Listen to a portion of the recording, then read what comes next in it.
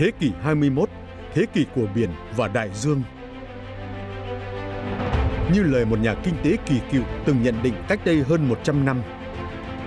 Địa Trung Hải là biển của quá khứ, Đại Tây Dương là biển của hiện tại, Thái Bình Dương sẽ là biển của tương lai. Tương lai ấy đã tới, châu Á Thái Bình Dương đang trở thành đích đến của rất nhiều tuyến hàng hải quốc tế.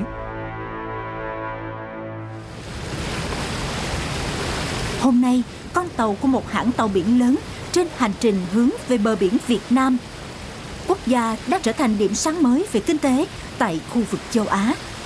Bến đỗ đầu tiên của con tàu là cảng biển thuộc Tổng công ty Tân Cảng Sài Gòn.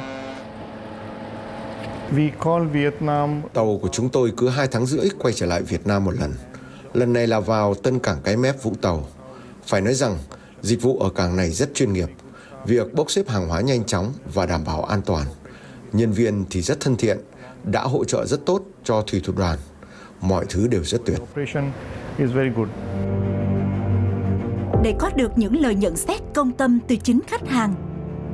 Để có được năng lực như ngày hôm nay, Tân Cảng Sài Gòn đã trải qua 35 năm định hình và phát triển. 35 năm không ngừng đổi mới, sáng tạo, tìm tòi hướng đi cho mình. Ngược thời gian, Tổng công ty Tân Cảng Sài Gòn tiền thân là đơn vị quân cảng Sài Gòn trực thuộc quân chủng Hải quân. Được thành lập ngày 15 tháng 3 năm 1989. Cơ sở vật chất ban đầu chỉ có vài kho hàng cũ nát, một chiếc cầu cảng ngắn đã bị hư hại nhiều do chiến tranh. Trang thiết bị hầu như không có. Hành trang khởi đầu xây dựng một doanh nghiệp vừa đảm bảo nhiệm vụ quốc phòng an ninh, vừa định hướng kinh doanh cảng biển bắt đầu như thế.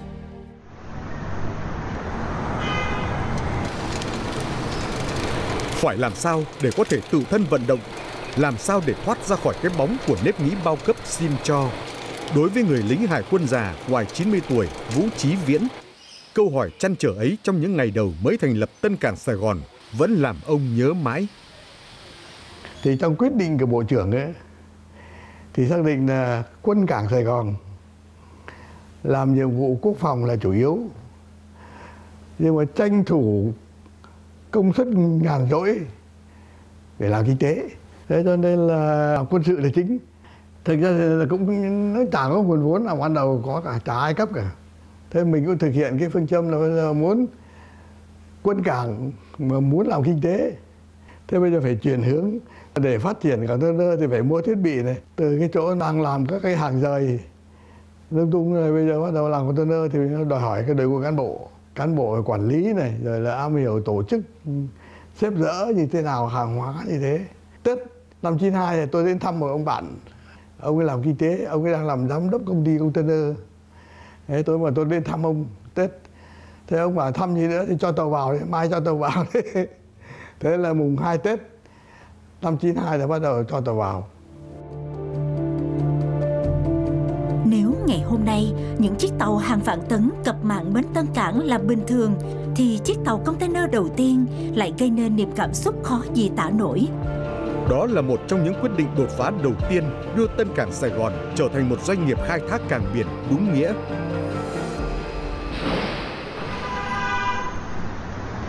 Logistics, thuật ngữ đã trở nên quen thuộc đối với nhiều người hôm nay. Nhưng cách đây chỉ hơn chục năm, thuật ngữ ấy là khái niệm hầu như khó được cắt nghĩa một cách rõ ràng cụ thể. Kinh doanh dịch vụ logistics đó là tầm nhìn chiến lược về một tương lai khi xã hội phát triển sẽ cần phải có những dịch vụ toàn phần trong chuỗi cung ứng từ lên kế hoạch, thực hiện và kiểm soát luồng chuyển dịch hàng hóa cho đến quản lý, cung cấp thông tin cho khách hàng. Và Tân Cảng Sài Gòn là một trong những doanh nghiệp tiên phong trong lĩnh vực logistics tại Việt Nam từ nhiều năm về trước. Ở những năm 2005, 2006, nền kinh tế Việt Nam hội nhập và phát triển toàn cầu. Mặt khác, cái dư địa của cái hoạt động kinh doanh khai thác biển đang trở thành một cái thời cơ cho Tân Cảng lựa chọn con đường kinh doanh của mình. Tân Cảng đã chọn không chỉ là nhà khai thác cảng mà phấn đấu hướng tới nhà cung cấp dịch vụ logistics toàn cầu. Đó là đầu tư công nghệ hiện đại, ứng dụng kỹ thuật số, nâng cao chất lượng người lao động để làm sao đáp ứng yêu cầu ngày càng cao của quá trình mở rộng cũng như là quá trình nâng cao chất lượng dịch vụ đối với khách hàng. Với tinh thần đoàn kết tập thể, các quyết định đã được đưa ra. Năm 2006, chuyển đổi sang mô hình công ty mẹ, công ty con. Năm 2009, liên doanh khai thác cảng với những hãng tàu lớn trên thế giới. Đồng thời khai trương cảng nước sâu Tân Cảng Cái Mép, đưa hàng hóa từ Việt Nam đi châu Âu và Hoa Kỳ. Năm 2012, mở rộng các ngành kinh tế biển.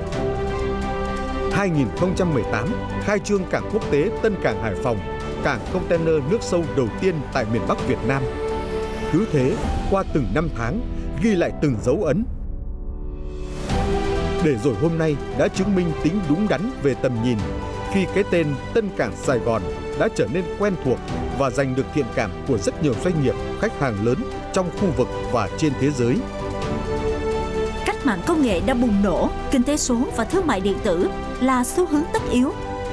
Để nhanh chóng đáp ứng và đón đầu xu thế, dịch vụ logistics không còn gói gọn trong vận tải, vận chuyển, giao nhận hàng hóa đến nơi tiêu thụ, mà còn phải tiến tới cung cấp trọn gói từ nhà sản xuất tới tận tay người dùng cuối cùng.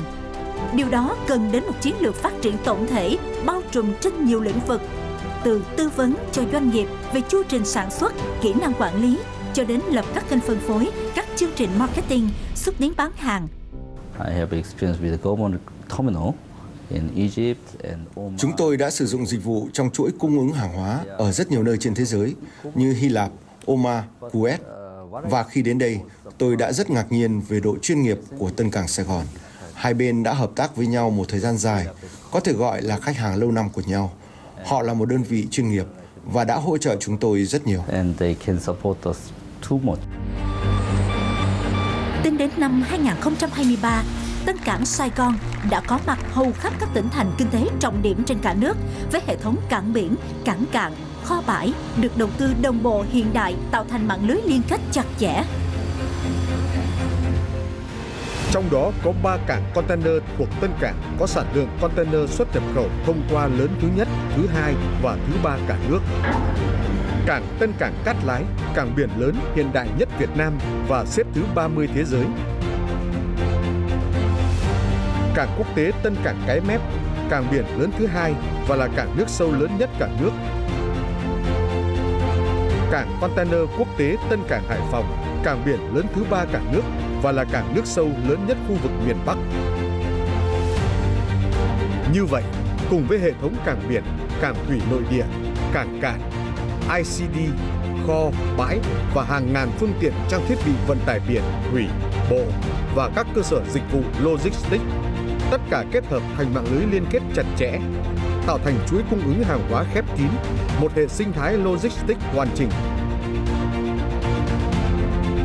Hệ thống này đã góp phần thúc đẩy sự phát triển cho các ngành kinh tế địa phương, tạo cơ hội mở rộng thị trường cũng như tăng tính cạnh tranh cho các doanh nghiệp. đáp ứng sự phát triển của dịch vụ logistics trong kỷ nguyên công nghệ số. Tân Cảng Sài Gòn tiên phong đi đầu trong cung cấp dịch vụ khách hàng với những giải pháp kỹ thuật số trên nhiều nền tảng, thuận lợi cho đa tác vụ từ thông quan điện tử, giám sát chu trình vận tải đến thanh toán, giao nhận, phân phối hàng hóa. Qua đó tiết kiệm thời gian, giảm chi phí, tối ưu hóa lợi nhuận cho khách hàng. trong kỷ nguyên số hóa và thương mại điện tử đang bùng nổ như hiện nay vai trò của logistics biển là cực kỳ quan trọng và là cơ hội cho Việt Nam phát huy thế mạnh về biển để chúng ta chiếm được vị trí trong chuỗi cung ứng lưu thông hàng hóa toàn cầu đồng thời kéo theo sự phát triển của các ngành lĩnh vực liên quan. Tổng công ty Tân Cảng Sài Gòn là một doanh nghiệp hàng đầu Việt Nam có uy tín quốc tế cao trong lĩnh vực kinh doanh, khai thác cảng, dịch vụ logistics và các ngành kinh tế biển tôi đánh giá cao vai trò và hiệu quả hoạt động của Tân Cảng Sài Gòn đã góp phần giúp các doanh nghiệp Việt Nam cũng như các doanh nghiệp nước ngoài giảm chi phí, tăng hiệu quả quản trị và kiểm soát hàng hóa, nâng cao năng lực cạnh tranh trong thời đại toàn cầu hóa như hiện nay. Ngoài nhiệm vụ là một doanh nghiệp làm kinh tế, Tân Cảng Sài Gòn cũng thường xuyên được giao thực hiện các nhiệm vụ quân sự quốc phòng, bảo đảm an toàn cầu bến, phục vụ các đoàn lãnh đạo cấp cao, các đoàn cán bộ, nhân dân đi thăm huyện đảo Trường Sa, thăm nhà giàn. Từ bến Tân Cảng nơi đây, những con tàu mang hơi ấm của đất liền đến với hải đảo xa xôi, mang theo cả hơi ấm của lòng người Tân Cảng đến với đồng bào, chiến sĩ nơi đầu sóng. Bên cạnh đó, Tân Cảng Sài Gòn còn thường xuyên tham gia triển khai công tác đón tàu quân sự của các nước đến hợp tác, giao lưu, diễn tập, chuẩn bị cho các phương án phòng chống thiên tai, tìm kiếm, cứu hộ, cứu nạn.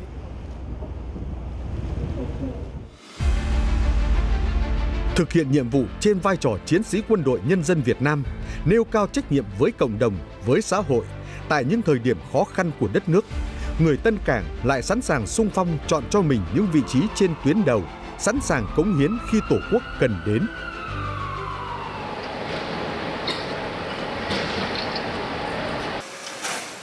Đây là những người lao động bình thường giống như bao người lao động khác. Điều duy nhất để nhận ra họ là người Tân Cảng Sài Gòn, ngoài trang phục, chính là sự tận tâm với công việc. Sự tận tâm bắt nguồn từ tình cảm thực sự gắn bó, yêu mến nơi làm việc của mình. Tôi cảm thấy rất là tự hào khi ờ, được làm việc tại Tổng Công ty Tân Cảng Sài Gòn. Mình cũng thích làm ở đây mà. Cái môi trường làm việc ở đây rất là ờ, thoải mái. Mọi người rất là hòa đồng. Ờ, lãnh đạo Tổng Công ty thì luôn quan tâm đến đời sống người lao động. Các chế độ chính sách đại ngộ rất là ưu ái. Cảm xúc là điều khó giấu. Những nụ cười sẽ không thực sự rạng rỡ nếu trong lòng còn vướng bận băn khoăn.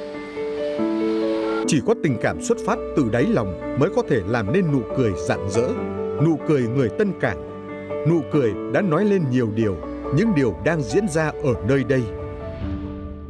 Cái đặc điểm khác biệt của Tân Cảng Sài Gòn về hoạt động công tác các anh chị có mặt giống các đơn vị trong quân đội, trong quân chủng hải quân nhưng mà nhiều mặt nó khác biệt vì đội ngũ người lao động của Tân Cảng và các công ty con, các công ty thành phần biên giới rất nhiều nên lãnh đạo Tân Cảng suốt các thời kỳ thì đều tiến hành các mặt hoạt động công tác chỉ. Đặc biệt là quan tâm đến đời sống vật chất, đời sống tinh thần của người lao động. Và đặc biệt nữa là quan tâm xây dựng nguồn nhân lực con người. Và trong nguồn nhân lực con người thì đặc biệt chú ý là nguồn nhân lực đội ngũ cán bộ chủ chốt chủ trì. Tất cả các đơn vị từ trên xuống dưới. Và chính đội ngũ cán bộ này là luôn luôn là nòng cốt và để xây dựng đơn vị vững mạnh toàn diện là một đơn vị thuộc lực lượng Hải quân Việt Nam, công tác đảng, công tác chính trị tại Tân Cảng Sài Gòn luôn được coi trọng. Chính công tác đảng, công tác chính trị là một trong những thành tố nền tảng góp phần hình thành nên bản sắc văn hóa rất riêng của đơn vị, văn hóa mang tên Tân Cảng Sài Gòn. Văn hóa Tân Cảng Sài Gòn, văn hóa bắt nguồn từ truyền thống trọng nghĩa, trọng tình, uống nước nhớ nguồn của dân tộc Việt Nam, văn hóa được kết tinh từ phẩm chất tốt đẹp của bộ đội cụ Hồ. Văn hóa xuất phát từ những trái tim đồng cảm, mong muốn được sẻ chia. Văn hóa người Tân Cảng Sài Gòn, văn hóa ấy đã luôn được chú trọng xây dựng song hành cùng sự phát triển của doanh nghiệp. Những thước phim tư liệu này ghi lại hình ảnh một trong những chuyến tàu thuộc Tổng Công ty Tân Cảng Sài Gòn chở nước ngọt cho bà con vùng hạn mặn vượt qua hàng trăm km, dòng nước ngọt như chuyên chở chứa đựng cả tấm lòng của người Tân Cảng gửi đến với nhân dân, đến với đồng bào của mình. Đó cũng chỉ là một trong rất nhiều hoạt động vì cộng đồng của doanh nghiệp.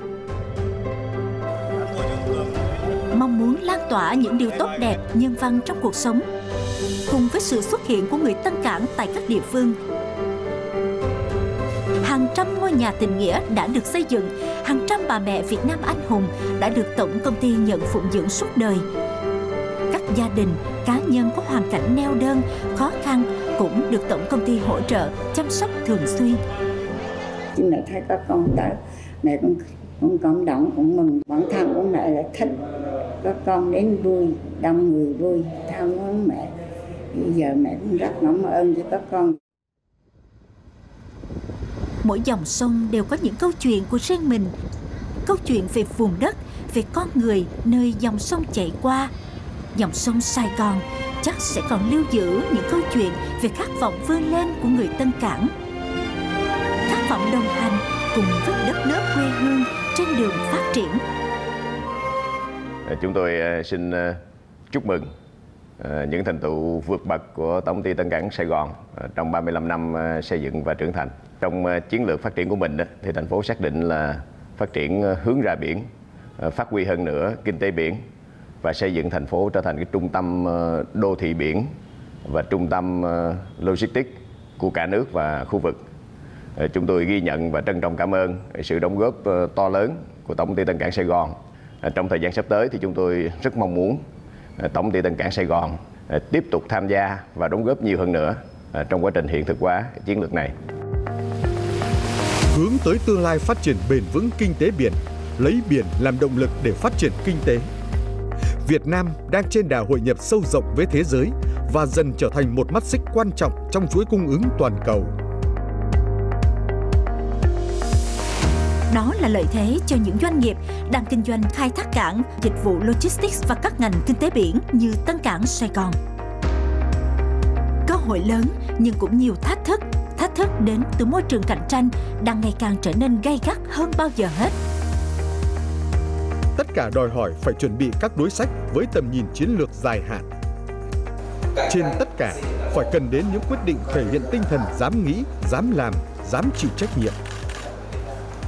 Hành trình 35 à, năm xây dựng và trưởng thành của Tổng Công ty Tân Cảng Sài Gòn ghi dấu một giai đoạn phát triển đầy vẻ vang với vị thế là nhà khai thác cảng hàng đầu Việt Nam xếp thứ 16 trong nhóm 20 cụm cảng container có sản lượng thông qua lớn nhất thế giới, khẳng định giá trị thương hiệu quốc gia Việt Nam trên thị trường cảng biển, dịch vụ logistics khu vực và quốc tế, phát huy truyền thống tốt đẹp và những giá trị mà các thế hệ Tân Cảng Sài Gòn đã tạo dựng nên. Hôm nay, toàn thể cán bộ, công nhân viên, người lao động Tổng công ty Tân Cảng Sài Gòn quyết tâm không ngừng đoàn kết, đổi mới, sáng tạo, tiếp tục đi tắt đón đầu các xu thế mới tăng tốc, bứt phá, đầu tư phát triển để nhanh chóng biến các tiềm năng, lợi thế, cơ hội thành những kết quả hiện thực, đưa tổng công ty tân cảng sài gòn phát triển nhanh, mạnh và bền vững với quy mô vị thế lớn hơn trên hành trình vươn tầm thế giới, kết nối toàn cầu biến tâm nhìn thành hiện thực, vươn cao, vươn xa hơn nữa, ngành kinh tế biển của Tân Cảng đã và đang thúc đẩy sự phát triển trụ cột hàng hải ngoài khơi như cung cấp tàu dịch vụ dầu khí đa năng và tàu bảo vệ, lai dắt, cứu hộ, vận chuyển, lắp đặt công trình biển, khảo sát công trình ngầm và phát triển hơn nữa cơ sở hạ tầng cảng và đầu tư tài chính.